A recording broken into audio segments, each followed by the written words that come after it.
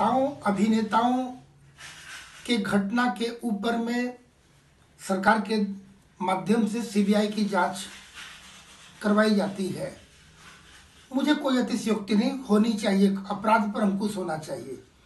किंतु मूल विषय है कि भारत के जो धर्म ध्वजावाहक, जो संत समाज है, संतों के ऊपर हो रहे अत्याचार, मैं विशेषकर मैं इंगित करना चाहूँ, पालघर की घटना इतने दिन हो गए लेकिन उस पर अभी किसी प्रकार की कार्रवाई, संतोषजनक कार्रवाई नहीं हुई है और ना ही सीबीआई को जाँच की जाती है। मैं कड़े शब्दों में निंदा करते हुए मैं ये मांग रखता हूँ कि पालघर की घटना की सीबीआई जाँच हो, अन्यथा बाध्य होकर संत समाज को सड़क पर उतरकर आंदोलन, उग्र आंदोलन करना पड़ेगा।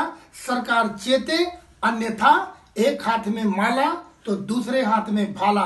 मैं ये चेतावनी देता हूँ सरकार को कि आप इस पर संज्ञान लें और अपना रुख इस पर आप स्पष्ट करें। इस प्रकार की मनमानी अब नहीं चलेगी। सब्र का बाँध अब टूट चुका है।